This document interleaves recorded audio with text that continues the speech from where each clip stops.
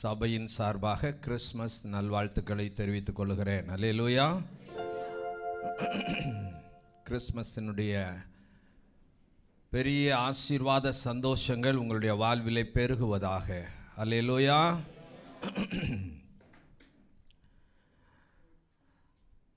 Luca எழுதின சுவிசேஷம் பத்தாவது அதிகாரம் பதினோராவது வசனத்தை வாசிக்க கேட்கலாம் தம்பி ஸ்டார்ட் பண்ணிட்டியா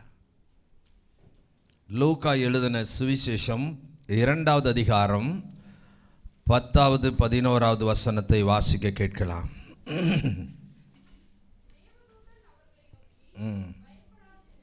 ஆ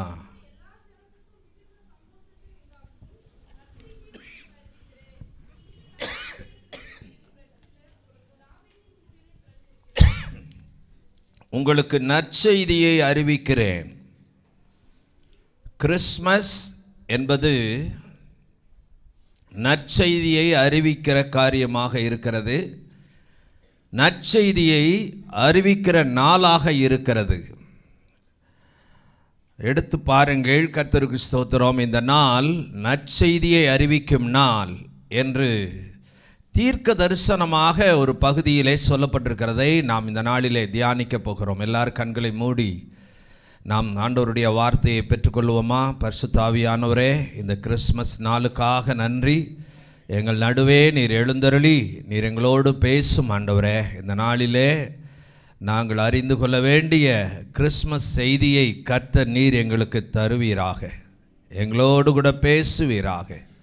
உங்கள் கரத்தில் எங்களை தாழ்த்தி ஒப்பு கொடுக்குறோம் ஏசு கிறிஸ்துவின் நாமத்தில் ஜபிக்கிறோம் பிதாவே ஆமே இயேசு கிறிஸ்துவனுடைய பிறப்பை அறிவிப்பதுதான் கிறிஸ்மஸாக இருக்கிறது கிறிஸ்மஸ் நாள் இயேசுவை அறிவிக்கிற நாள் என்கிற காரியத்தை இந்த நாளிலே ஆவியானவர் நமக்கு விவரமாக சொல்லி கொடுப்பாராக கிறிஸ்மஸ் என்பது என்ன இன்றைக்கு உலகமாக எல்லாம் தலைகீழாக போயிட்டுருக்கு கிறிஸ்மஸ் குடில் பெருசாக கட்டி அதை பெரிய புகழ்ச்சி குடில் கட்டுறது எங்கேருந்து வந்துச்சு அதே போல் பெரிய கிறிஸ்மஸ் ட்ரீ வைக்கிறது அதே மாதிரி கிறிஸ்மஸ் தாத்தாவுக்கும் கிறிஸ்மஸுக்கு என்ன சம்பந்தம் இருக்குது நீங்கள் பார்த்தீங்கன்னா கிறிஸ்மஸ் நாளிலே என்ன மக்கள் செய்யணும் அப்படிங்கிறத மறந்துட்டு இன்னும் ஏராளமாக நிறைய காரியம் நடந்துகிட்ருக்கு பிராந்தி கடையிலையும் நீங்கள் பார்த்தீங்கன்னா மற்ற நாட்களில் இருக்கிற சேல்ஸை விட இன்றைக்கி ரொம்ப அதிக சேல் இருக்குது ஏன்னா கிறிஸ்மஸ் அன்னைக்கு அவ்வளோ கொண்டாட்டமாக இருக்கிறாங்களாம் இன்றைக்கும் ஆட்கள் பாருங்கள் இன்னும் கிறிஸ்மஸை ஆராதிக்கிறதுக்கு இன்னும் நம்ம சபையிலையும் பாதி பேருக்கு மேலே வரல வந்துக்கிட்டு இருக்கிறாங்க யோசித்து பாருங்கள் கிறிஸ்மஸில் நாம் செய்ய வேண்டிய முக்கியமான கடமை கிறிஸ்மஸ் என்பது என்ன இயேசு பிறந்ததை அறிவித்தார்கள் எனக்கு இந்த கிறிஸ்மஸை குறித்து ஆவியானவர் இந்த நாளிலே என்னை பாரப்படுத்தின ஒரு காரியத்தை உங்களோடு கூட பேச விரும்புகிறேன்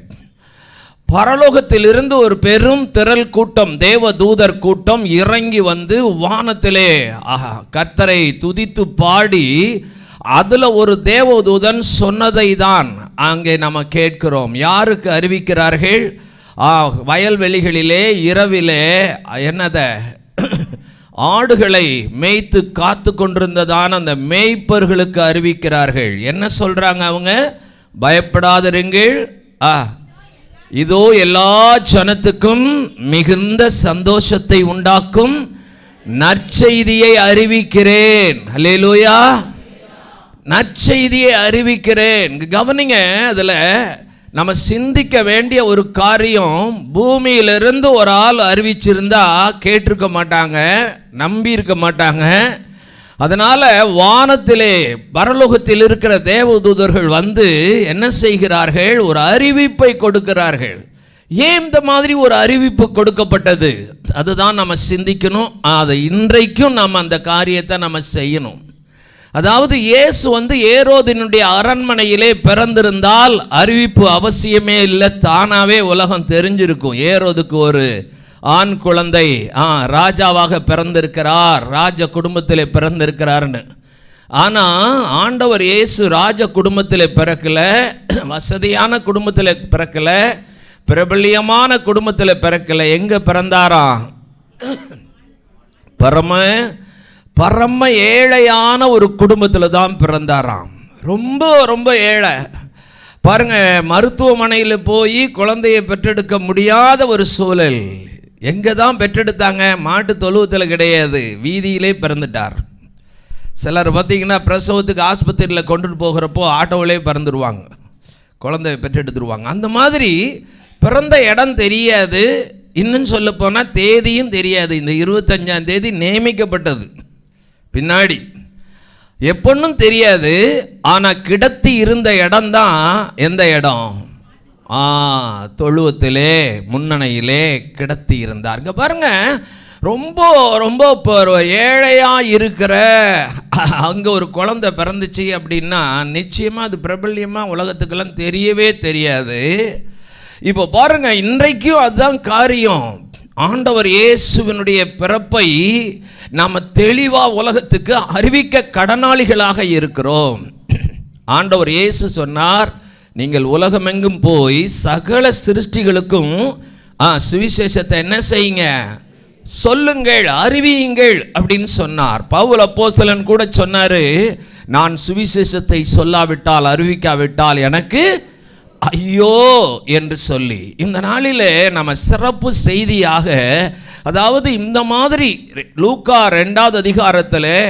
கர்த்தர் வந்து வானத்தையும் பூமியையும் உருவாக்கின தேவனாகிய கர்த்தர் கிறிஸ்துவாக அல்லது இயேசுவாக ரட்சகராக தாவீதின் ஊரிலே பிறந்திருக்கிறார் என்று சொல்லி ஒரு பரலோக கூட்டம் இறங்கி வந்து அதிலே ஒரு தேவதூதன் உலகத்திற்கு அறிவித்தானே இந்த சம்பவமானது பழைய ஏற்பாட்டில் ஒரு தீர்க்க தரிசனமாக நடந்திருப்பதை நீங்கள் பார்க்க முடியும் அது எங்கே தெரியுமா அதை நம்ம பார்க்கலாம் ரெண்டு ராஜாக்களின் புஸ்தகம் ஏழாவது அதிகாரம் அங்கே நம்ம பார்க்க முடியும் கர்த்தருக்கு ஸ்தோத்திரம் ஆறாவது அதிகாரத்திலேயும் நீங்கள் அதை அது ஆறாவது அதிகாரத்திலே இருந்து பார்க்க முடியும் அதாவது இஸ்ரவேலினுடைய தலைநகரான சமாரியாவை சீரியாவினுடைய ராஜா என்ன செய்தான்னா முற்றுகையிட்டான் என்று சொல்லி ஆறு இருபத்தி நாலிலே சொல்லப்பட்டிருக்கிறது முற்றுகையிட்டு எதுவரையிலே அவன் முற்றுகையிட்டான்னா ஜனங்களுக்கு எந்த ஒரு உதவியும் கிடைக்காம அந்த பட்டணத்திற்கு உள்ளே ஜனங்கள் யாரும் போக முடியாதபடி உள்ளே இருக்கிறவங்க வெளியே வர முடியாதபடி சீரியாவனுடைய படை முற்றுகையிட்டது ஜனங்கள் ஆகாரம் கிடைக்காம கீழே பார்த்தீங்கன்னா கழுதையை சமைச்சு சாப்பிட்றாங்க கழுதையின் கறியை பெற்ற குழந்தைய சமைச்சு சாப்பிட்றாங்க இந்த கொடூரமான நேரத்தில் அங்கே பாருங்க ஏழாவது அதிகாரத்தில் ஒரு நான்கு குஷ்டரோகிகள் என்ன செய்கிறாங்க பட்டணத்தினுடைய ஓரமாக இருந்தவங்க உள்ளேயும் ஆகாரம் கிடைக்கல பட்டணத்துக்குள்ளே வெளியிலேயாவது வெளியில் எதிராளிகள் இருக்கிறாங்க ஆகையினால் அவங்களுக்கு பசி கொடுமை தாங்க முடியாமல் நாலு பேரும் தீர்மானம் எடுத்து என்ன செய்கிறாங்க நமக்கு உள்ளேயே ஆகாரம் கிடைக்கல சரி எதிராளிகள்கிட்டயாவது போய் ஏதாவது ஆகாரம் வாங்கலாம் முற்றுகையிட்டுக்கிட்டு இருக்கிற ஆட்கள்கிட்ட போய் பார்க்கலான்னு சொல்லி ராத்திரியில் அவங்க அங்கே போகிற சமயத்தில் பார்த்தா அங்கே யாருமே இல்லை முற்றுகை போட்டு அதாவது டெண்ட் அடித்து பல மாதமாக கொடுமைப்படுத்தி கொண்டிருந்த அந்த சீரியாவினுடைய படை யாருமே இல்லை அவங்க வச்சுட்டு போன பொருள் ஆகாரம் தானியம் அதெல்லாம் அப்படி அப்படியே இருக்குது ஆனால் ஒரு ஆள் கூட இல்லை எல்லாம் ஓடிட்டாங்க என்ன நடந்தது அப்படின்னு சொல்லி அந்த குஷ்டரோகிகளுக்கு தெரியவே இல்லை இப்போ அவங்க என்ன செய்கிறாங்க பல நாள் சாப்பாடு கிடைக்காதவங்க அதை போய் ஒவ்வொரு ஒரு கூடாரத்தில் இருந்து சாப்பிட்டு புசித்து குடித்து அவங்க வச்சுருந்த நல்லதெல்லாம் சாப்பிட்டுட்டு அடுத்த கூடாரத்தில் போய் அதே மாதிரி போய் சாப்பிட்டு சாப்பிட்டு இப்போ பார்த்தீங்கன்னா அவங்களுக்கு வயிறு புடைக்க சாப்பிட்டுட்டாங்க பல நாள் ஆச்சு இல்லையா சாப்பிட்டு இப்போ திடீர்னு ஒரு யோசனை வருது ஒரு ஆள் சொல்கிறான் பாருங்க அந்த தேவதூதன் சொன்ன மாதிரியே சொல்கிறான் பாருங்க ஒன்பதாவது வசனம் ஏழாவது அதிகாரம் ஒன்பதாவது பதினோராவது வசனத்தில் பாருங்க அவன் என்ன சொல்லுகிறான் பின்பு அவர்கள் ஒருவரை ஒருவர் நோக்கி நாம் செய்கிறது நியாயம் அல்ல இந்நாள் நற்செய்தியை அறிவிக்கும் நாள் நாம் அமைதியாய் இருந்தால் குற்றம் நம்மேல் சுமரும் இப்போதும் நாம் போய் ராஜாவின் அரண்மனையாருக்கு இதை என்ன செய்வோம் அறிவிப்போம் இன்னைக்கு மக்கள் செய்கிறது என்னன்னா அந்த நாலு குஷ்டரோகிகளும் நல்லா கிடைச்ச ஹையஸ்ட் ஃபுட்டை ஒவ்வொரு கூடாரத்திலையும் சாப்பிட்டு அப்படியே அவங்க வச்சிருந்த பிராந்தியெல்லாம் குடிச்சு என்ன ரொம்ப சந்தோஷமாக கழுக கழிப்பாக இருக்கிறாங்க அது அது கிறிஸ்மஸ் கிடையாது இப்போ அவங்களுக்குள்ளே ஒரு உணர்வு நம்ம பசி நம்ம பசியெல்லாம் தீந்துருச்சு ஆனால் பட்டணத்திற்குள்ளே இருக்கிற ஜனங்கள் எல்லாரும் எப்படி இருக்கிறாங்க பசியிலே பஞ்சத்திலே பரிதாபத்திலே இருக்கிறாங்க ஆகையினால அவர் அவர்களுக்கு இந்த ஆகாரம் கிடைக்கும்படியாக நாம ஓடி போய் என்ன செய்வோம் நற்செய்தியை அறிவிப்போம் அவங்க தான் ஒன்பதாவது வசனத்தில் சொல்றாங்க இன்னா இந்நாள் நற்செய்தியை அறிவிக்கிற நாள் எல்லாரும் சொல்லுங்க கிறிஸ்மஸ் என்பது என்னது புசிப்பு அல்ல குடிப்பு அல்ல நற்செய்தியை அறிவிக்கிற நாள் அல்ல ஆமாம் நீங்கள் புசித்தாலும் குடித்தாலும் அதுலேயும் கிறிஸ்துவை அறியாத மக்களை அழைத்து அவங்களுக்கு ஆகாரம் கொடுத்து அல்லது வேற எதையாவது கொடுத்து இயேசு ரட்சகர் உனக்காக பிறந்திருக்கிறார் உன்னுடைய நல்வாழ்வுக்காக பிறந்திருக்கிறார் உன்னுடைய சுகத்திற்காக செழிப்புக்காக சிறப்புக்காக பிறந்திருக்கிறார் உன்னை பரலோகம் கொண்டு போய் சேர்ப்பதற்காக அவர் பிறந்திருக்கிறார் என்கிற செய்தியை மற்றவர்களுக்கு சொல்வதுதான் கிறிஸ்துமஸ் அல்லேலூயா இன்றைக்கு உலகம் அல்லது கிறிஸ்தவ உலகம் என்ன செய்து கொண்டிருக்கிறது என்பதை பாருங்கள் மற்றவங்களுக்கு சொல்லுகிறாங்களா கேக்கு தான் கொடுக்குறாங்க ஆனால் இயேசு உங்களுக்காக இந்த பூமியிலே பிறந்திருக்கிறார் இயேசு உங்கள் குடும்பத்தில் இருக்கிற சாபத்தை மாற்றுவார் உங்கள் வாழ்க்கையில் இருக்கிற கஷ்டத்தை மாற்றுவார் அப்படிங்கிற வார்த்தையை மக்களுக்கு சொல்லுகிறார்களா இல்லை கர்த்தருக்கு ஸ்தோத்திரம் கவனிங்க நம்ம இந்த நாளிலே அதாவது தீர்க்க தரிசனமாக இங்கே ரெண்டு ராஜாக்கள் ஆறு ஏழாவது அதிகாரத்தில் இஸ்ரவேல் தேசத்தில் நடந்த ஒரு காரியத்திற்கும் இங்கே லூக்கா ரெண்டாவது அதிகாரத்தில் நடந்த ரெண்டு காரியத்தையும் ஒப்பிட்டு நம்ம பார்க்கிற சமயத்தில் ஒரே மாதிரியாக காரியம் நடந்திருக்கிறது அல்லையிலோயா கிறிஸ்மஸினுடைய தாற்பரியத்தை மறந்துவிட்டு எதையோ செய்து கொண்டிருக்க கூடாது ஆகையினால கவனமாக கேளுங்க அதாவது நான் வேகமாக துரு சுருக்கமாக இந்த நாளிலே உங்களுக்கு இந்த சத்தியத்தை சொல்லிக் கொடுக்க விரும்புகிறேன் அல்லையிலோயா கர்த்தருக்கு ஸ்தோத்திரம் அதாவது இந்த தேவதூதன் மேய்ப்பர்களுக்கு வந்து நற்செய்தியை அறிவித்த நேரம் வேலை அது எந்த நேரமாக இருக்கிறது இரவு நேரமாக இருக்கிறது இல்லையா எப்போ அவங்க அனுபவித்தாங்க அப்படிதான் இருக்கிறது பாருங்க கத்தருக்கு சோத்திரம் நற்செய்தியை அறிவித்த நேரம் மெய்ப்பர்கள் எல்லாரும் இரவிலே மந்தையை காத்து கொண்டிருந்த நேரம் அதே போல அந்த நான்கு குஷ்டரோகிகளும் நற்செய்தியை அறிவித்த நேரம் எந்த நேரம் இரவு நேரம் இந்த இரவு என்பதை தெளிவாக தெரிந்து கொள்ளுங்கள் உலகம் முழுவதும் இருள் சூழ்ந்து இருக்கிறது ஆமாம் ஏசையா அறுபதாவது அதிகாரத்தில் சொல்லப்பட்டிருக்கிறது இருள் பூமியையும் காரிருள் ஜனங்களையும் என்ன செய்தும் மூடும் இருளின் அதிகாரத்திலிருந்து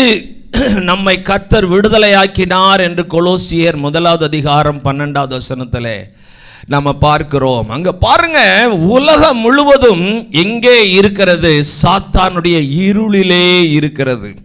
அதனால தான் வலது கைக்கும் இடது கைக்கும் வித்தியாசம் தெரியாமல் இருக்கிறார்கள் உலகத்தில் இருக்கிற மக்கள்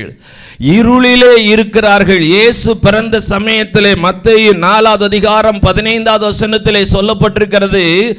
இருளில் இருக்கிற ஜனங்கள் பெரிய வெளிச்சத்தை கண்டார்கள் அப்படின்னு சொல்லப்பட்டிருக்கிறது கிறிஸ்துவுக்குள்ளே வராத ஒவ்வொரு மக்களும் எங்க தான் இருக்கிறாங்க சாத்தானுடைய அந்தகார இருளிலே இருக்கிறார்கள் அவர்களுக்கு பேரொளியை காட்டக்கூடிய தீபமாக நீங்களும் நானும் இருக்க வேண்டியது அவசியமா இருக்கிறது ஹலே லூயா ஹலே லூயா பாருங்க அதே போல ரெண்டு ராஜாக்கள் ஆறாவது அதிகாரம் இருபத்தி நான்காவது வசனத்திலே நாம் என்ன பார்க்கிறோம் அதாவது தலைநகரை இஸ்ரவேலுக்கு தலைநகரை ராஜா இருந்த ஆட்சி செய்து கொண்டிருந்த அவனுடைய அலுவலகங்கள் எல்லாம் இருந்ததான அந்த தலைநகர் சமாரியாவை அவன் என்ன செய்தான் சீரியாவினுடைய ராஜா முற்றுகையிட்டான் எதுக்கு முற்றுகையிட்டான் முற்றுகைன்னா என்ன சிறைப்படுத்திட்டான் ஒவ்வொரு பட்டணத்துக்கும் இஸ்ரவேல் தேசத்தில் காம்பவுண்ட் இருக்கும் பார்த்தீங்களா அந்த காம்பவுண்டை சுற்றிலும் அவனுடைய படை வந்து நின்று உள்ளே யாரும் போகாமல் வெளியில் யாரும் வராமல் வியாபாரிகள் எதையும் உள்ளே கொண்டு போகாமல் எந்த ஆகாரமும் உள்ளே போகாமல் டோட்டலாக அரெஸ்ட் பண்ணிட்டான் உள்ள ராஜா இருக்கிறான் தலைநகர் இருக்கு அதிகாரிகள் இருக்கிற எல்லாரையும் அந்த சீரியாவினுடைய ராஜா என்ன செய்துட்டான் அரெஸ்ட் பண்ணிட்டான் முற்றுகையிட்டான் இன்றைக்கும் உலகமானது சாத்தானினாலே முற்றுகையிடப்பட்டிருக்கிறது ஆமாம் பெரிய ஜனாதிபதி தான் பெரிய பிரதம மந்திரி தான் பெரிய அதிகாரி தான் பெரிய கவர்னர் தான் ஆனால் தெய்வத்திற்கும் தெய்வம் அல்லாததற்கும் அவங்களுக்கு வித்தியாசமே தெரியல காரணம் ரெண்டு குருந்தியர் நாலாவது அதிகாரம் நாலாவது வசனம் திலே பவுல் சொல்லுகிறார் இப்பிரபஞ்சத்தின் தேவனானவன் சுவிசேஷத்தின் ஒளியை நற்செய்தியை மக்கள் அறிந்து கொள்ளக்கூடாதபடி அவர்களுடைய மனதை குருடாக்கி வைத்திருக்கிறான் பெரிய படிச்சவங்க தான் பெரிய படித்தவங்க தான் நம்ம நாட்டில் இருக்கிற ஒரு நிர்பந்தமானதை போன வாரத்தில் நான் டிவியில் செய்தி கேட்டுட்டு இருக்கும்போது நான் பார்த்தையா இதை குற்றமாக நான் சொல்லலை நம்ம நாட்டினுடைய நிலை எப்படி இருக்கிறது என்பதை பாருங்கள் வட மாநிலத்திலலாம் ரொம்ப குளிர் பனி ரொம்ப குளிராக இருக்குன்னு கோயிலில் இருக்கிற சாமிக்கெல்லாம் சொற்று போட்டு விட்டுருக்குறாங்க சொற்று மட்டும் இல்லை சால்வையை போட்டு கம்பளியை போட்டு நீங்கள் எத்தனை பேர் கேட்டிங்களோ தெரியல அதை அப்படியே காமிச்சாங்க பாருங்கள் அது கல்லில் செஞ்சுருக்குதோ மரத்தில் செஞ்சுருக்குதோ எப்பா மரத்துக்கும் கல்லுக்கும் குளிருமா பனி ஐஸ் கட்டிக்குள்ளேயே அதை தூக்கிப்பட்டாலும் ஒன்றுமே அதுக்கு ஆகாத எந்த அளவு பாருங்கள் நம்ம நாட்டில் மக்களுடைய நிலை எப்படி இருக்குது கம்ப்யூட்டர் காலம் இல்லையா சந்திரனுக்கும் வானத்திற்கும் ஏராளமாக ராக்கெட்டை அனுப்புகிற விஞ்ஞானிகள் நிறைந்த நாடு இந்தியாவில் இருக்கிற இன்ஜினியர்கள் தான் அமெரிக்காவிலலாம் ரொம்ப ஃபேமஸாக எடுத்துக்கிறாங்க அவ்வளவு அறிவு படைத்த ஆட்களுக்கு எப்பா குளிர்றதுக்கு அடிக்குமா அப்படிங்கிறது கூட தெரியல அப்படின்னா சாத்தான் அவர்களுடைய கண்களையும் மனதையும் எவ்வளவு குருடாக்கி வைத்திருக்கிறான் நம்ம நாடு பக்தியுள்ள நாடு தான் தெய்வ வழிபாடு நிறைந்த நாடு தான் ஆனால் சாத்தா அவங்க கண்ணை என்ன செஞ்சு வச்சிருக்கிறான் குருடாக்கி வச்சிருக்கிறான் நினைவே பட்டணத்து ஜனங்கள் நினைவே பட்டணம் சாதாரண பட்டணம் கிடையாது கிரேட் சிட்டி என்று சொல்லப்பட்டிருக்கிறது டெல்லி பாம்பே மாதிரி பெரிய பட்டணம் இந்த பெரிய பட்டணத்தில் பெரிய படித்தவங்கெல்லாம் இருப்பாங்களாம் ஆனால் கர்த்தருடைய பார்வையில் அவங்க எல்லாரும் வலது கைக்கும் இடது கைக்கும் வித்தியாசம் தெரியாதவர்களாய் இருக்கிறார்கள் பாவத்திற்கும் பரிசுத்திற்கும் வித்தியாசம் தெரியாதவர்களாய் இருக்கிறார்கள் பாவத்தை பாவமாக அவங்க நினைக்கிறதில்ல அவங்க அது வந்து அனுபவிக்க கூடியது தான் அப்படின்னு நினைக்கிறாங்க அந்த அளவுக்கு சாத்தான் ஆ மனுஷருடைய மனதை முற்றுகையிட்டிருக்கிறான் சிறைப்படுத்தி இருக்கிறான் அப்போ பாருங்க எப்படி சமாரியா பட்டணத்தை சிறைப்படுத்தினானோ சமாரியா பட்டணத்தில் இருந்த அரசனையும் சிறைப்படுத்திட்டான் அரச குடும்பங்களை அதிகாரிகளை மந்திரிகளை ஆமாம் பெரிய பெரிய அறிவாளிகள் எல்லாரும் முற்றுகைக்குள்ளே இருக்கிறார்கள் இன்றைக்கு நாம் அறிந்து கொள்ள வேண்டிய ஒரு காரியம் இந்த உலகம் முழுவதும் சாத்தானுடைய ஆளுகையில் இருக்கிறது அதனால தான் ஆண்டவர் இயேசுவை என்ன செஞ்சான் சாத்தா மத்தை அதாவது சோதனை காலத்திலே மத்திய நான்காவது அதிகாரத்திலே நீங்க பார்க்க முடியும் எட்டாவது ஒன்பதாவது வசனத்திலே பார்க்க முடியும் இயேசுவை உயர்ந்த மலையிலே கொண்டு போய் உலகத்தினுடைய மகிமையை எல்லாம் காண்பித்து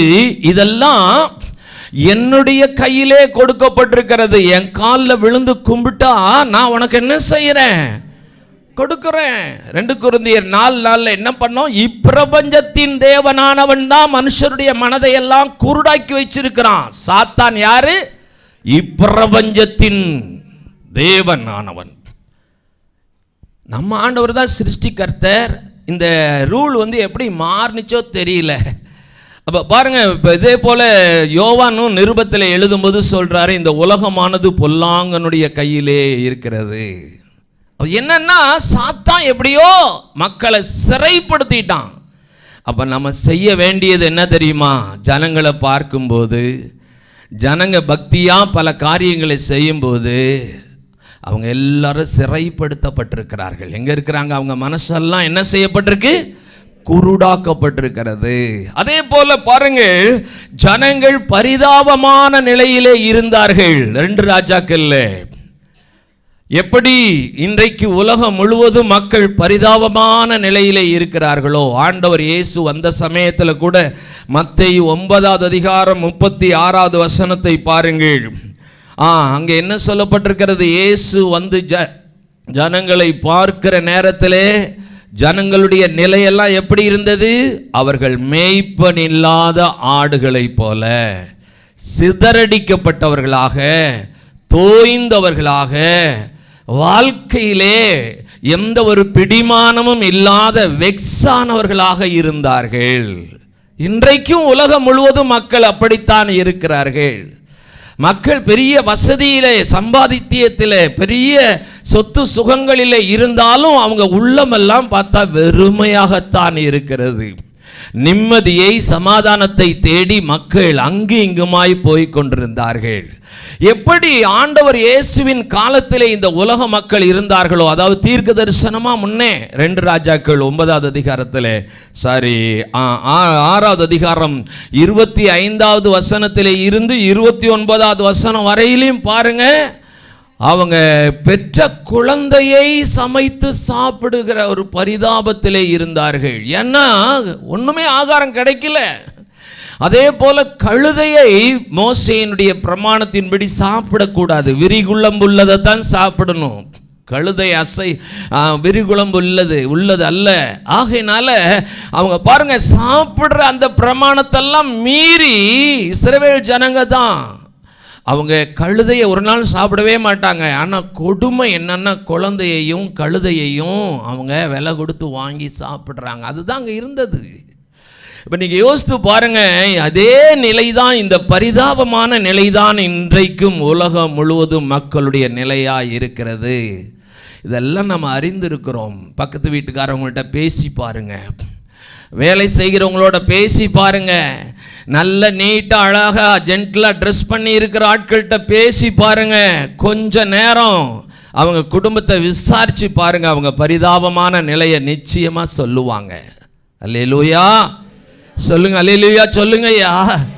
ஆமாம் குடும்பங்களிலே கணவன் மனைவினுடைய உறவிலே ஒரு சரியான நிலை கிடையாது வெளியில் பார்க்குறதுக்கு பைக்கில் காரில் ஒன்றா போகிறாங்க ஆனால் அவங்க ரெண்டு பேரும் தனியாக தான் இருக்கிறாங்க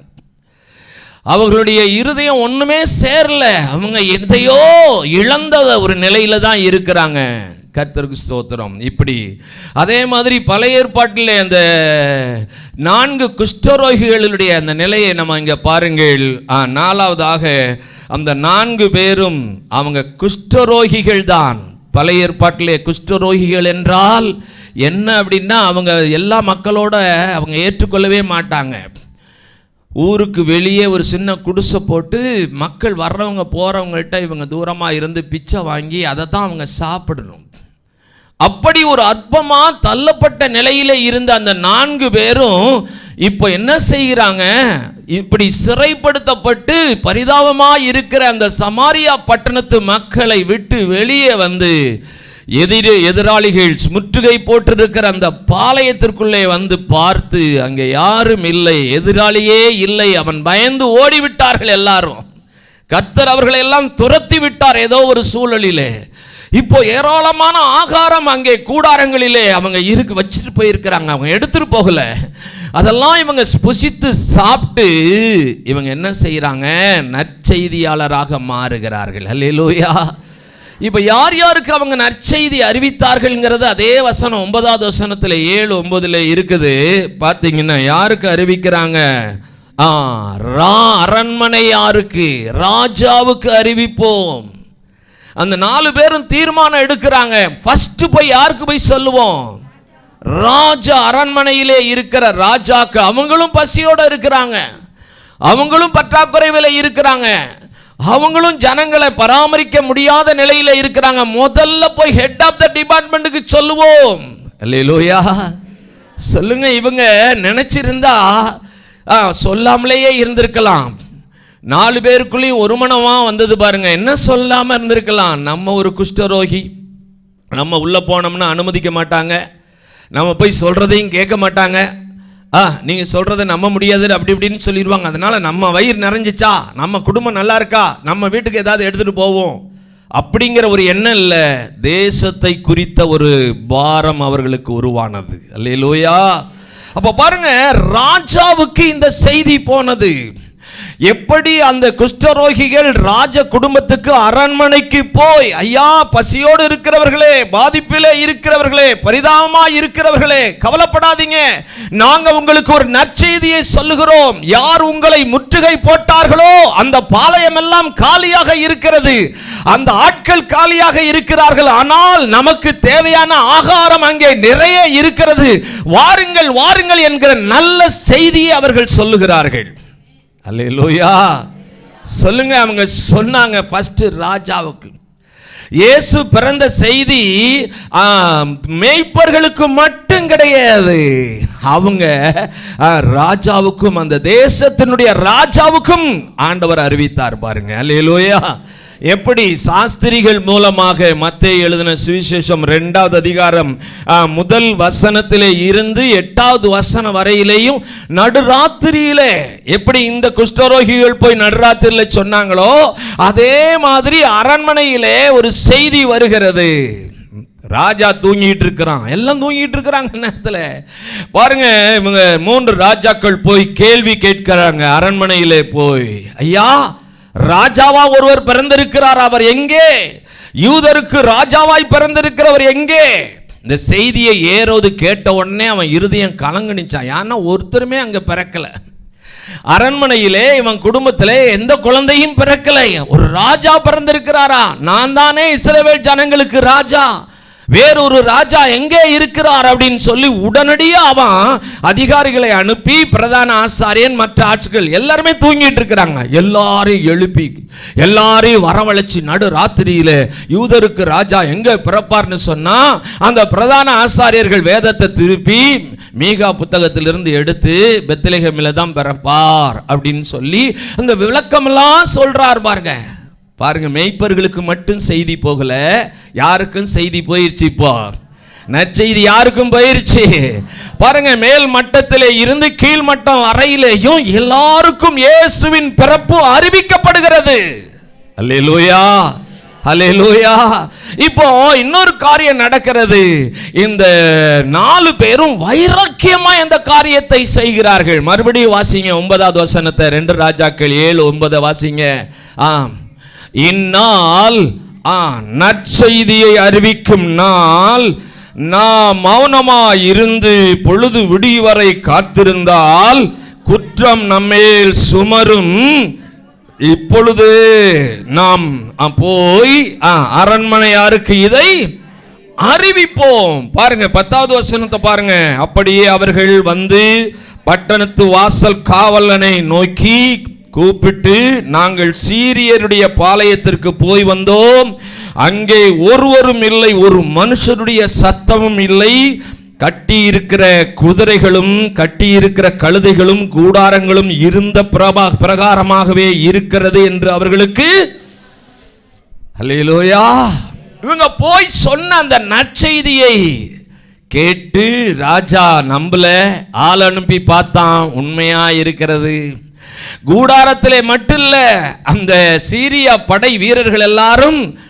ஏதோ ஒரு சத்தத்தை ஆண்டவர் அவங்களுக்குள்ளே கூடாரத்தில் உருவாக்குனதுனால அவங்க வித்தியாசமான கற்பனையில் நமக்கு எதிராக இந்த ச இஸ்ரேவேலின் ராஜா யுத்தத்துக்கு வர்றான் வேலை ஆட்கள் எல்லாம் வேற படையெல்லாம் அவன் திரட்டி இருக்கிறான் அப்படின்னு சொல்லி இவங்களுக்குள்ளே ஒரு எண்ணத்தை ஆண்டவர் உருவாக்கி இவங்க எல்லாம் உளுந்து அடித்து சொல்லுவாங்களே துண்டை காணான் துணியை காணான் அந்த மாதிரி ஓட்டமாக ஓடுறான் ஓடுற வழியில் பார்த்தீங்கன்னா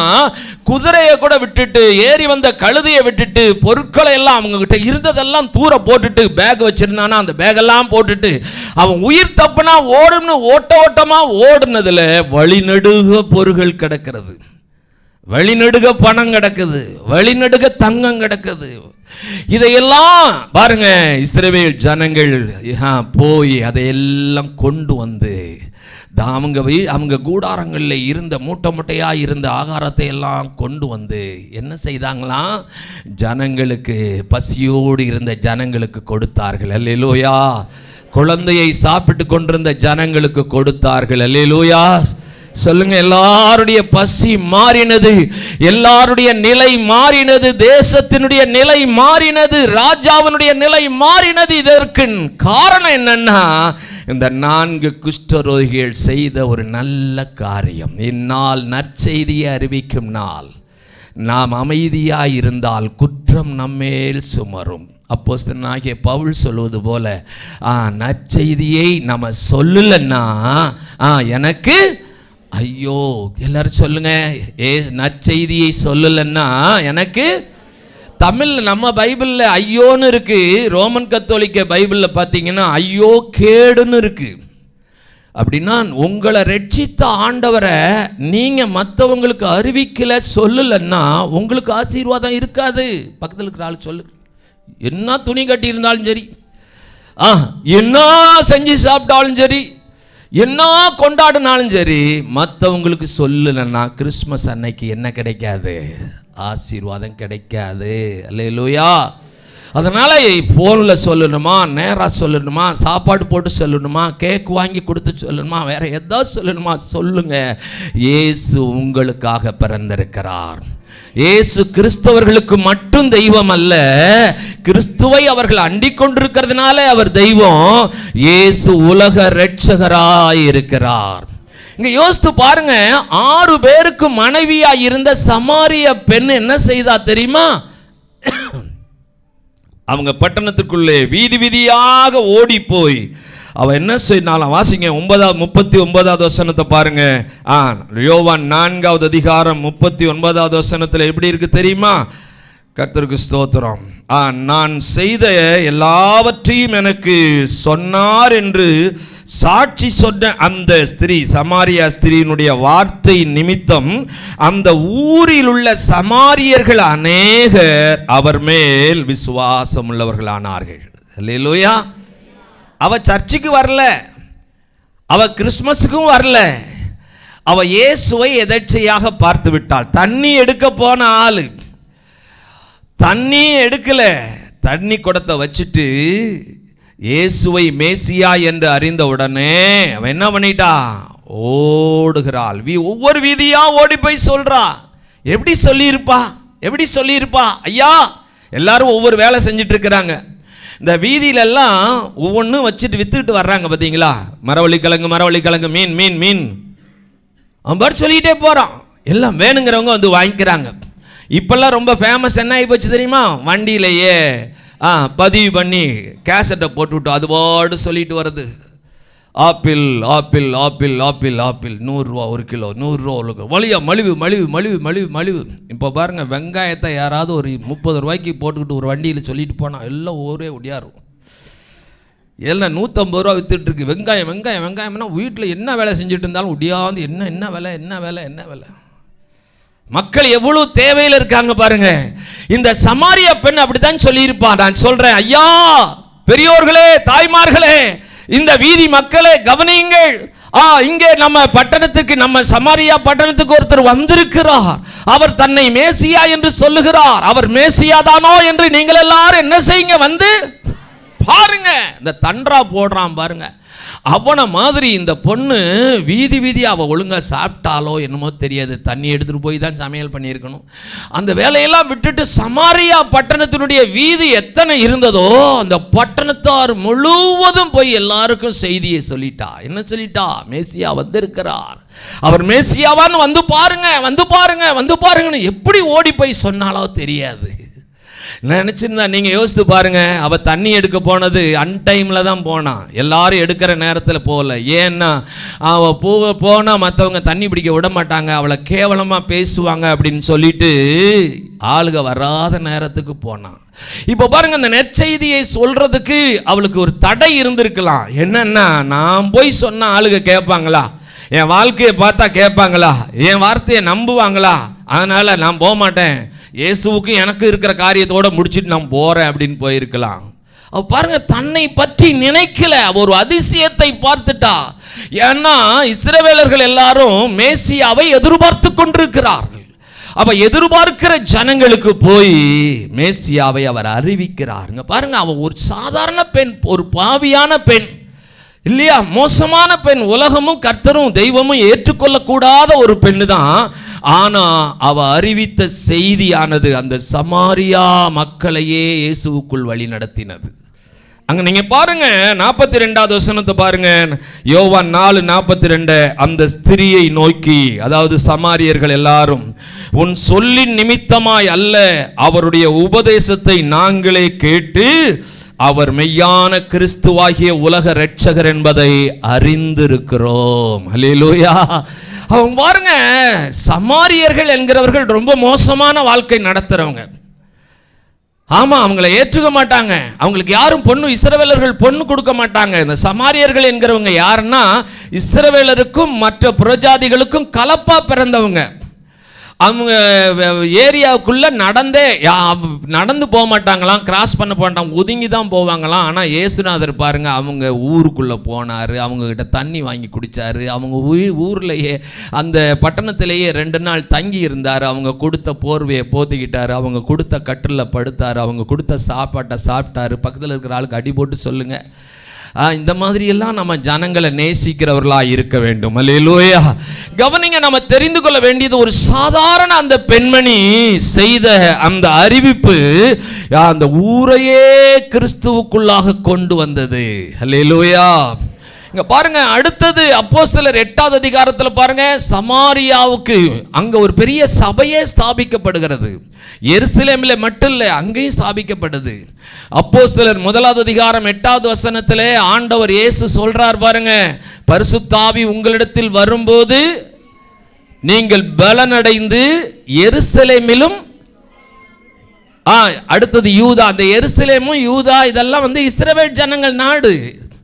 ஆனா அடுத்தது பாருங்க சமாரியாவிலும்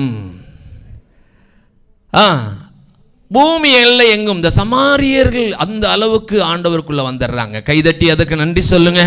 சமாரியர்கள் கிறிஸ்துவுக்குள்ளே வர்றதுக்கு காரணம் யாருன்னா சமாரிய பெண்ணா இயேசுவை மேசியாவை அறிவித்தது தான் லோயா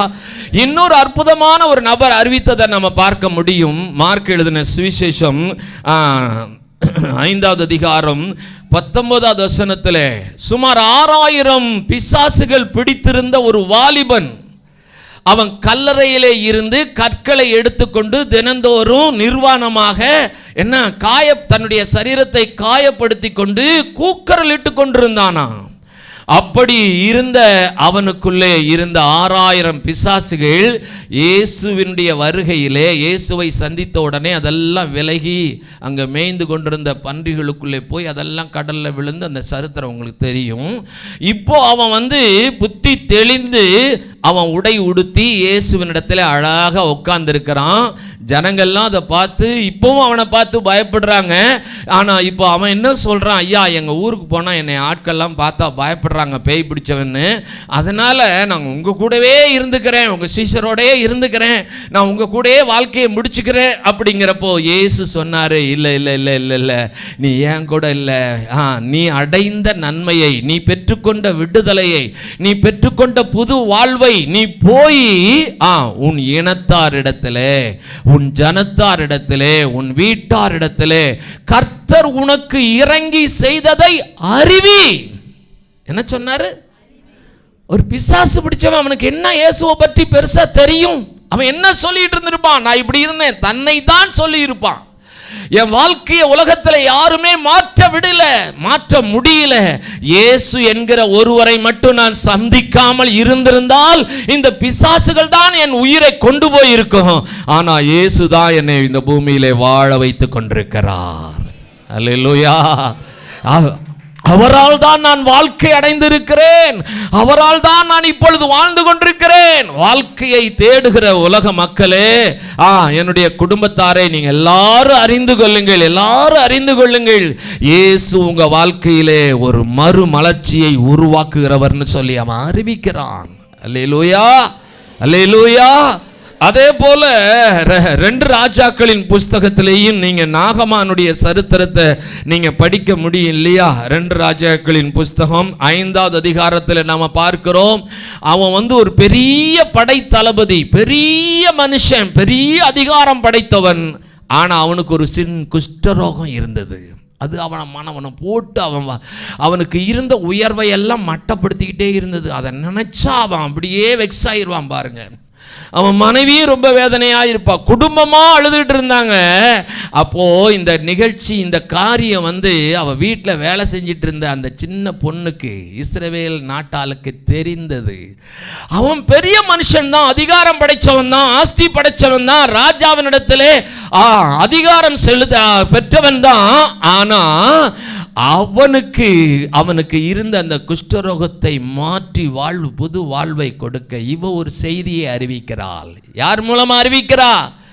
அந்த நாகமானுடைய மனைவி மூலமா அறிவித்தால் மனைவி போய் புருஷன்ட்டு சொல்கிறா ஏம்மா இப்போ நம்ம வீட்டில் வேலை செய்கிற இந்த பொண்ணு ஒன்று சொல்கிறா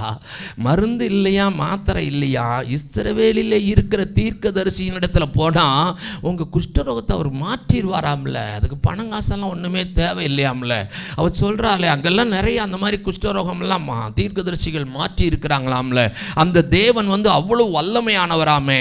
அவர் வந்து செங்கடலெல்லாம் பிளந்தவராமே இப்படி எல்லாம் சொல்லியிருக்கிறா பாருங்க பாருங்க உலக உலகத்தில் இருக்கிற தெய்வம்னு நினைக்கிற எல்லாவற்றை விட இஸ்ரவேலின் தேவனாகிய கர்த்தருக்கு ஒப்பானவர் ஒருவர் இல்லை அவர் சர்வ வல்லவர் இவ வந்து வேலைக்காரி வெங்காயம் உரிச்சிட்டு இருக்கும் போது பாருங்க எஜமாட்டி கிட்ட சொல்லிக்கிட்டு இருக்கிற ஐயா நம்ம என்ன நினச்சிக்கிட்டு இருக்கிறோம் நம்ம சின்னவங்க படிப்பறிவுக்கு தெரியும் அவங்கெல்லாம் பெரியவங்க அப்படி எல்லாம் நம்ம அளந்துக்கிட்டு இருக்கிறோம் ஆனால் இந்த சின்ன பெண்ணு அந்த பெரிய மனுஷனுக்கு அறிவித்த அந்த செய்தி என்ன நடந்தது தெரியுமா அவன் வாழ்க்கையில அவன் சரீரத்தில் இருந்த அந்த குஷ்டரோகத்தை மாற்றி போட்டது மட்டுமல்ல அவன் தேவனுடைய பிள்ளையாகவே அவன் மாற்றிட்டான் அல்லையிலோயா அந்த சரித்திரத்தை பாருங்க எலிசா கிட்ட அவன் திரும்ப வரும்போது சொல்றான் நான் இன்னமே உம்முடைய தேவனாகிய கர்த்தரை தவிர வேற யாரையும் என்ன செய்ய மாட்டேன் ஆராதிக்க மாட்டேன் தலை வணங்க மாட்டேன் எக்ஸ்கியூஸ் கேட்டுக்கிறான் யாருக்கிட்ட அந்த எலிசா தீர்க்கதரிசிக்கிட்ட ஒரே ஒரு காரியம் இருக்குதையா நான் கண்ணு தெரியாத ராஜாவுக்கு அவர் வந்து கோயிலுக்கு அவர் தெய்வத்தை கும்பிட போகும்போது நான் தான் கைப்பிடிச்சு கூட்டிகிட்டு போகணும் அந்த ஒரு காரியத்தை மட்டும் கர்த்தர் எனக்கு மன்னிக்கணும் அப்படின்னது உடனே எலிசா சொல்கிறான் போ பாருங்கய்யா எலிசாவினால மாற்றம் கிடையாது இந்த நற்செய்தி யார் மூலமாக போனது ஒரு சின்ன பெண் அல்லேலூயா சபையை பாழாக்கி கொண்டிருந்தவன் தான் சவுல் ஆனா பாருங்க அவனை சந்தித்த உடனே சபை அவனை ஏற்றுக்கொள்ள மறுத்தது அனனியா என்கிற ஒரு சீசன்ட்ட கர்த்தர் சொல்றாரு எடுத்து பாருங்களேன் அதை மட்டும் வாசிங்க அப்போ சிலர் ஒன்பதாவது அதிகாரம் பதினைந்தாவது வசனத்திலே புறஜாதிகளுக்கும் ராஜாக்களுக்கும் என்னுடைய நாமத்தை அறிவிப்பதற்கு நான் தெரிந்து கொண்ட பாத்திரமாயிருக்கிறான் என்னுடைய நாமத்தை அறிவிப்பதற்கு யார் யாருக்கு ராஜாக்களுக்கும் பிரஜாதிகளுக்கும் என்னுடைய நாமத்தை அறிந்து கொள்வதற்காக நான் தெரிந்து கொண்ட பாத்திரம் என்னுடைய நாமத்தை அறிவிப்பதற்காக அறிவிக்கிறதற்காக எல்லாரும் எழுந்து நிற்கலாமா எதற்காக கர்த்தர் உங்களை தெரிந்து கொண்டிருக்கார் தெரியுமா நல்ல ட்ரெஸ் வாங்கி நல்ல சமையல் செய்து நல்ல விருந்து கொண்டாடி கிறிஸ்மஸ் கொண்டாடுறதுக்கு மட்டும் இல்லை அது தப்பு இல்லை உங்கள் வசதி போல் சந்தோஷமாக நம்ம செய்யலாம் ஆனால் கர்த்தர் உங்களை தெரிந்து கொண்ட நோக்கத்தை மறந்து இதெல்லாம் செய்யாதீங்க கர்த்தர் உங்களை எதுக்காக தெரிந்து கொண்டார் ராஜாக்களுக்கும் ஜனங் ஜாதி ஜனங்களுக்கும் இயேசுவின் நாமத்தை அறிவிப்பதற்காக இயேசுவின் நாமத்தை அறிவிப்பதற்காக இந்த உலகத்திலே தெய்வங்கள் ஏராளம் உண்டு மதங்கள் ஏராளம் உண்டு நல்ல மார்க்கங்கள் நல்ல கொள்கைகளை ஜனங்களுக்கு சொல்லுகிற மார்க்கங்கள் மத கொள்கைகள் ஏராளம் உண்டு ஆனால் எந்த மதத்திலேயும் ரட்சகர் என்பவர் ஒருவரே இல்லை யார் இல்லை ரெட்சகர்னா என்ன பாவ உலக மக்களுடைய பாவ சாபங்களை நீக்கி அவர்களை காப்பாற்றுகிற வல்லமை படைத்தவருக்கு பேர் தான் ரெட்சகர் அதை தான் தேவதூதன் அறிவித்தான் இன்று கத்தராகிய கிறிஸ்து என்னும் ரட்சகர் உங்களுக்காக தாவீதி நூறிலே தெய்வம் ரட்சகராக பிறந்திருக்கிறார் கிறிஸ்துவுக்குள்ளதான் கிறிஸ்துவ மதத்தில் தான் வேத புத்தகத்தில் தான்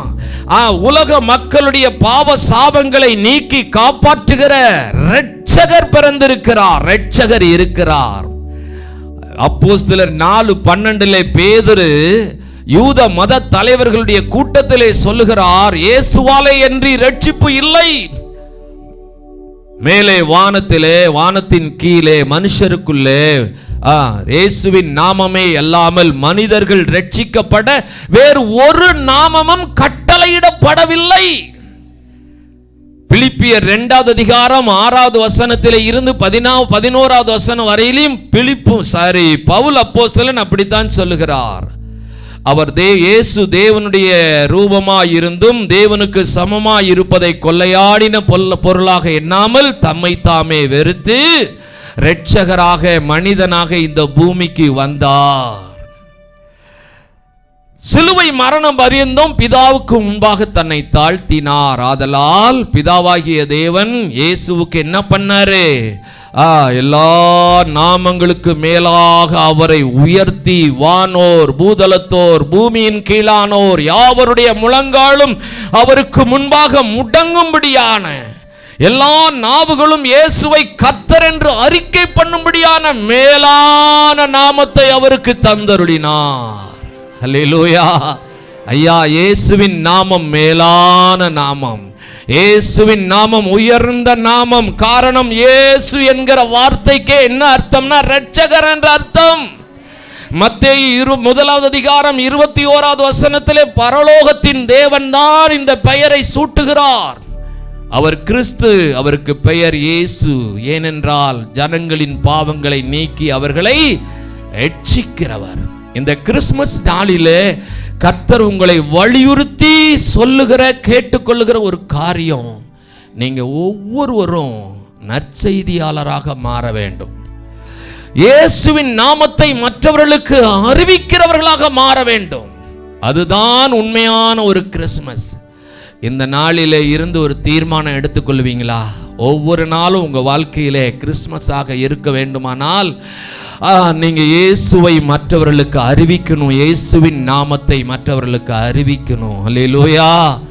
ஆமாம் எல்லா இடங்களிலேயும் உங்களோடு தொடர்புடைய எல்லா உங்கள் சொந்த பந்தங்கள் உங்கள் இனத்தார் ஜனத்தார் எந்த நிகழ்ச்சிக்கு நீங்கள் போனாலும் இயேசு ரட்சகர் உங்கள் வாழ்க்கையில் இருக்கிற அனைத்து பாதிப்புகளையும் பரிகரித்து உங்கள் வாழ்க்கையை இம்மையிலும் மறுமையிலும் செழிப்பாக்கக்கூடியவர் அவராலே என்று ரட்சிப்பு இல்லை இயேசு சொன்னார் நானே வழியும் சத்தியமும் ஜீவனுமாய் இருக்கிறேன் என்னாலே என்று வேறு ஒருவராலும் பிதாவினிடத்தில் பரலோகத்திற்கு வரவே முடியாது ஸ்தோத்திரம் இந்த நற்செய்தியை நாம் அறிந்திருக்கிறோம் அறிவிக்கிறவர்களாக நாம் மாறணும் எல்லார் நெஞ்சில் கை வச்சு ஆண்டவரே நான் உண்மை அறிவிக்கணவனாக அறிவிக்கிறவளாக யார் யாரை சந்திக்கிறனோ யார் யாரோடு பேசுகிறனோ எல்லாருக்கும் ஏசு ரட்சக ஏசு ரட்சிக்கிறவர் உங்கள் பாவத்திலிருந்து சாபத்திலிருந்து உங்கள் குடும்ப சாபத்திலிருந்து எல்லா வகையான சாத்தானுடைய பாதிப்பிலிருந்து உங்களை காப்பாற்றக்கூடியவர் உங்களை கனப்படுத்தக்கூடியவர் உங்கள் வாழ்வை செழிப்பாக்கக்கூடியவர் உங்களை வாழாகாமல் தலையாக்கக்கூடியவர் அந்த இயேசுவை நீங்கள் ஏற்றுக்கொண்டு பாருங்க அந்த இயேசுவை அப்பா பிதாவே என்று அழைத்து பாருங்க ஏசப்பா எனக்கு உதவி செய்யும் என்று சொல்லி பாருங்க சொல்லுங்க உங்களுக்கு தெரிந்த அளவுக்கு ஐயா ஒரு பாவியான ஆறு பேருக்கு மனைவியாயிருந்த ஆ ஒரு சமாரிய பெண் மூலமாக ஒரு பட்டணமே இயேசுவை உலக ரட்சகர் என்று அறிந்திரு அறிந்து கொள்ளுமானால் அறிந்திருக்குமானால் இந்த நாளிலே கத்தர் உங்களை பார்த்து சொல்லுகிறார் அவ்வளவு மோசமான வாழ்க்கை நீங்க நடத்தல ஒரு பிசாசினாலே சரீரம் முழுவதும் காயமாய் இருந்த அந்த லேகியோன் பிசாசு பிடித்தவன் அவனுக்கு ஆண்டவர் அறிவிக்க சொல்லி ஒரு பொறுப்பு கொடுத்திருந்தால் சபையை பாலாக்கி கொண்டிருந்ததானே அந்த சவுலை சந்தித்து அவன் அவன் வந்து என்னுடைய நாமத்தை அறிவிப்பான் என்று சொல்லி கர்த்தர் நம்பி இருந்தால் உங்களையும் என்னையும் குறித்து கர்த்தர் எவ்வளவு நம்பிக்கையோடு இருக்கிறார் லூக்கா பதினாறாவது அதிகாரம் பத்தொன்பதாவது வசனத்திலே இருந்து ஐஸ்வர்யவான் லாசருவனுடைய கதையிலே பாதாளத்திலே வெந்து கொண்டிருந்ததான அந்த பணக்காரன் ஒரு கேள்வி ஒரு வேண்டுகோள் விடுக்கிறான் ஆபிரகாமை பார்த்து ஐயா என்னை போல ஐந்து சகோதரர்கள் உலக வாழ்க்கையிலே திளைத்து கொண்டிருக்கிறார்கள் மறுமையை குறித்த அறிவு இல்லாமல் இருக்கிறார்கள் அவர்கள் இந்த வேதனையுள்ள இடத்துக்கு வராதபடி மறித்து போன அந்த லாசருவை உயிரோடு எங்கள் ஊருக்கு அனுப்புங்க போய் அவன் சொன்னால் நம்புவாங்க அப்படின்னப்போ ஆபரகாம் சொன்னார் இல்லை இல்லை இல்லை இல்லை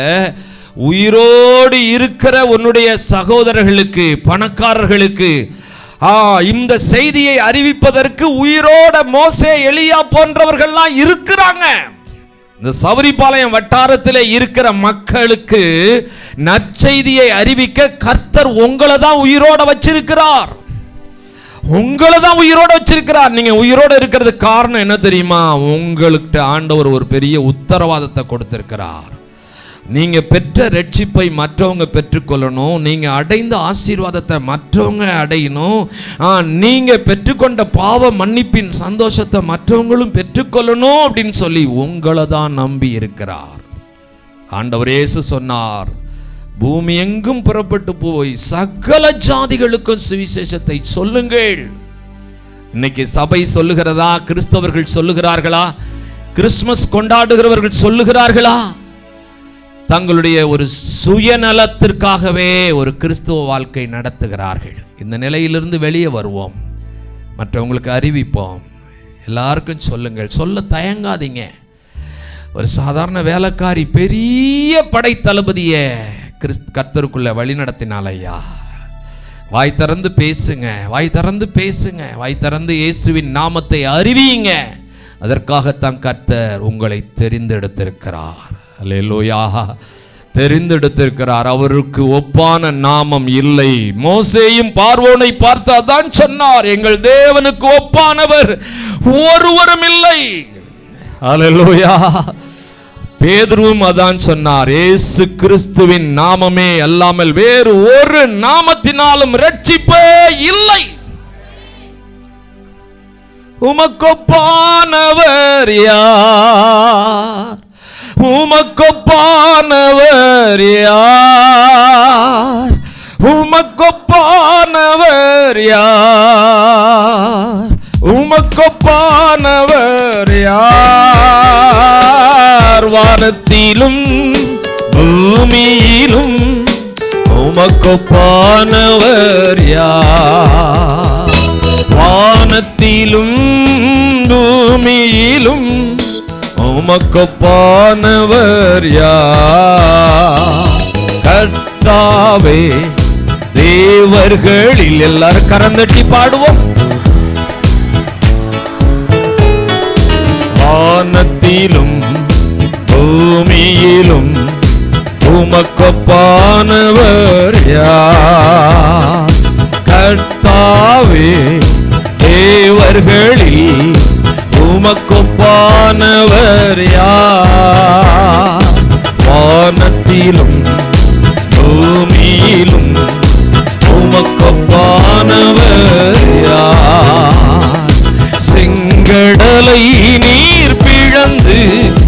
உந்தன் ஜனங்களை நடத்தி சென்றி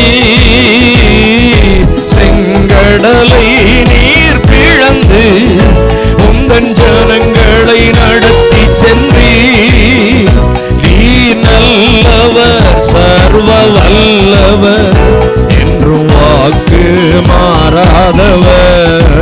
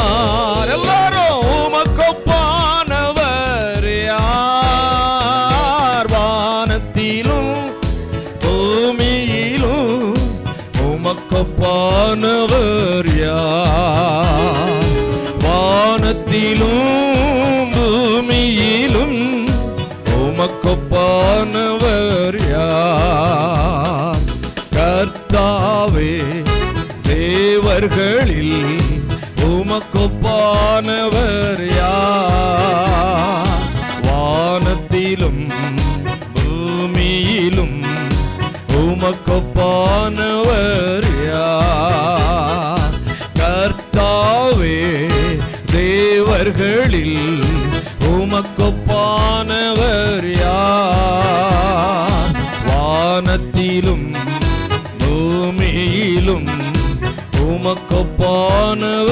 யார் உமக்கொப்பானவர் யார் உமக்கொப்பானவர் யார் அன்புள்ள பிதாவே வருஷத்தாவியானவரே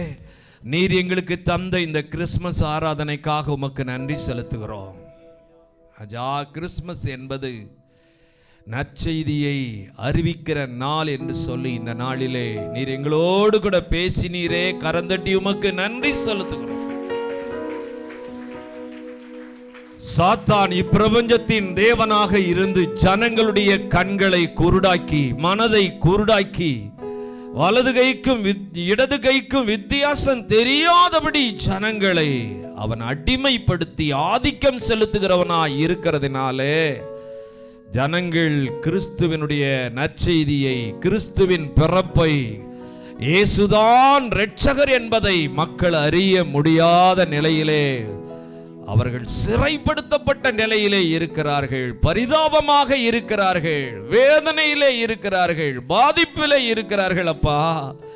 அவர்களுக்கு அந்த குஷ்டரோகிகள் போய் ஆமே நற்செய்தியை அறிவித்தது போல ராஜாக்களுக்கும் அறிவித்தது போல அதிகாரிகளுக்கும் அறிவித்தது போல இந்த கிறிஸ்துமஸ் நாளிலே இயேசுவே ரட்சகர் இயேசுவே ஆண்டவர் என்கிற நற்செய்தியை நாங்கள் கூச்சப்படாதபடி உலக மக்களுக்கு நாங்கள் அறிவிக்கிற நற்செய்தியாளராக ஒவ்வொரு கிறிஸ்தவரும் மாற வேண்டும் என்று சொல்லி நாங்கள் மாறப்படுகிறோம் ஆண்டவரே எங்கள் தேசம் இருளிலே இருக்கிறதே எங்கள் தேசம் சாத்தானுடைய ஆளுகையிலே இருக்கிறதே சாத்தான் சிறைப்படுத்தி வைத்திருக்கிறானே முற்றுகையிட்டு வைத்திருக்கிறானே ஆமாண்டவரே தேவதூதன் அறிவித்தது போல அந்த குஷ்டரோகிகள் அறிவித்தது போல இந்நாள் நற்செய்தியை அறிவிக்கும் நாள் நாம் மௌனமாய் இருந்தால் குற்றம் நம்மேல் சுமரும் அரண்மனை வீட்டாருக்கு போய் இந்த நற்செய்தியை அறிவிப்போம் என்று சொல்லி அவர்கள் தங்களை மறந்து தங்களுடைய நிலையை மறந்து அவர்கள் உற்சாகமாய் போய் அறிவித்தது போல இந்த நாளிலிருந்து நாங்கள் ஒவ்வொரு நாளும் எங்களை சந்திக்கிற ஒவ்வொரு மக்களையும் அண்டவரே விசாரித்து உம்முடைய நற்செய்தியை அறிவிக்கணும் ராஜா ஏசு ரட்சகர் ஏசுவே ரட்சகர் ஏசுவே ஆண்டவர் அவர் உங்க வாழ்க்கையை ஆசீர்வதிப்பார் மாற்றுவார் என்று சொல்லி வாய் திறந்து எல்லாருக்கும் அறிவிக்கிற நற்செய்தியாளராக இந்த கிறிஸ்துமஸ் நாளிலே எங்கள் ஒவ்வொருவரையும் முழு சபையையும் இந்த வார்த்தையை தூரமாயிருந்து கேட்கிற எல்லாருக்கும் நீர் கிருபை செய்வீராக ஆசீர்வதிக்கிறேன் அதன் மூலமாக பெரிய ராஜாக்கள் உண்மை அறியற்று ராஜா பெரிய அதிகாரிகள் அரியற்று ராஜா பெரிய மனிதர்கள் அரியற்று ராஜா உங்க வாழ்க்கையில இருக்கிற சாபங்கள் எல்லாம் மாறி உங்க பிள்ளைகளாய் மாறட்டும் ஆண்டவரே இந்த அண்டவரே உத்தரவாதத்தோடு தீர்மானத்தோடு இந்த நாளிலே நாங்கள் புறப்பட்டு போகிறோம் ராஜா எங்களுடைய குதூகலத்துக்காக அல்ல மனம் திரும்புகிற ஒரு பாவியின் நிமித்தமாக பரலோகத்திலே மிகுந்த சந்தோஷம் உண்டாகும் என்று சொல்லி ஆண்டவர் இயேசு சொன்ன வார்த்தையின்படி எங்கள் மூலமாக ஆமேன் மற்ற மனிதர்கள் மனம் திரும்பும் போது இயேசுவுக்குள்ளே வரும்போது இயேசுவின் பிள்ளையாய் மாறும்போது பரலோகம் கூறுகிறது பரலோக தூதர்கள் கூறுகிறார்கள் என்று சொல்லி நாங்கள் அறிந்தோமே அந்த நற்செய்தியாளராக எங்கள் ஒவ்வொருவரையும் நீர் மாற்றுவீராக ஆத்ம பாரத்தை தருவீராக இயேசுவை அல்லாமல் ரட்சிப்பு இல்லை இயேசுவை அல்லாமல் மக்கள் பரலோகம் போக முடியாது என்கிற ஒரு நிலையை மக்கள் மற்றவங்களுக்கு எடுத்து சொல்ல விசுவாசிகள் சொல்ல கிருபியை கொடுங்க அப்படிப்பட்ட நல்ல உணர்வோடு உங்கள் சமூகத்திலிருந்து கடந்து போகிறோம் வந்திருக்கிற ஒவ்வொருவரையும் நீர் அப்படி மாற்றும் ஒவ்வொரு குடும்பத்திலேயும் தேவனுடைய ஆண்டவரை ஆத்ம பாரம் ஒவ்வொருவரையும் நிரப்புவதாக தேவ ஆசீர்வாதத்தோடு அனுப்பி காத்துக்கொள்ளும் ஏசு கிறிஸ்துவின் நாமத்தில் ஜபிக்கிறோம் பிதாவே என் ஆத்துமாவே கத்திரை ஸ்தோத்திரி முழுள்ளமே பரிசுத்த நாமத்தை ஸ்தோத்திரி ஆத்துமாவே கத்திரை ஸ்தோத்திரி கத்தர் செய்த சகல உபகாரங்களையும் மறவாதே ஆமே நம்முடைய கர்த்தராகிய இயேசு கிறிஸ்துவின் கிருபையும் பிதாவாகிய தேவனுடைய அன்பும் பரிசுத்தாவியானோருடைய அன்னுடைய ஐக்கியமும் ஆசீர்வாதமும் உங்கள் யாவரோடும் சகல பரிசுத்தவான்களோடும் கர்த்தர் வருமளவு நிறைந்து நின்று காப்பதாக ஆமீன் ஆமீன் அலே லூயா அலே லூயா அலே லூயா கர்த்தர் உங்களை ஆசீர்வாதத்தோடு அனுப்புவாராக ஆமீன் ஆமீன் ஆமீன் காட் பஸ்